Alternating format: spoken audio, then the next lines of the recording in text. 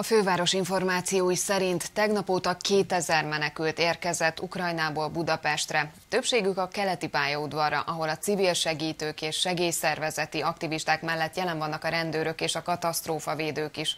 A kommunikáció azonban nem zöggenőmentes a hatóságok között. Egy helyi önkéntes szerint az ő részvételük nélkül összeomlana az ellátás. Nehezen igazodik el az információkon ez a most érkezett ukrán nő. Önkéntes tolmács segít neki, és híradónknak is. Natasa Odesszából jött kisgyerekkel. Fogalma sincs róla, mi lesz vele.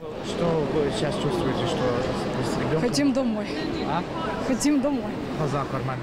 Ebben a szányban éjjel a földön aludtak a gyerekek. Minden segítség elkél, a felvilágosítás és a technikai segédeszközök is.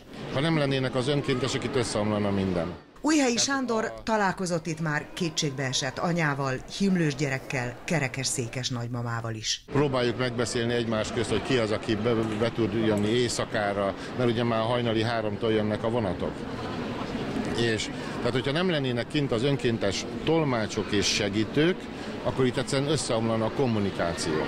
A Vöröskereszt budapesti vezetője szerint folyamatosan egyeztetnek a hatóságokkal, és közösen próbálnak megoldást találni a problémákra. Az elmúlt négy napban szóba került az, hogy elegendő-e például a pénztári kapacitás, mobil pénztárat nyitotta, a MÁV kevésnek tűnt az elmúlt pár napban a, a melegedő buszok létszáma, a MÁV beállított egy melegedő vonatot. A főváros is napi kapcsolatban áll a Védelmi Bizottsággal, amellett, hogy szálláshelyeket készít elő, étkeztet és szállítja is a menekülteket. Sporadikusan jó együttműködések vannak, de mintha a rendszer egészében nem működne, nem állna fel, és ez nem a katasztrófavédelemnek vagy a Védelmi Bizottságnak a hibája, mint hogyha az összhang nem lenne biztosított kormányzat részéről ezen szervek között. Kis Ambrus szerint már most látszik, hogy egyre nagyobb probléma lesz azoknak a tartós elhelyezése, akik itt várnák ki a háború végét. Persze sokan nem ezt tervezik. A leghosszabb sor a nemzetközi jegypénztár előtt alakult ki.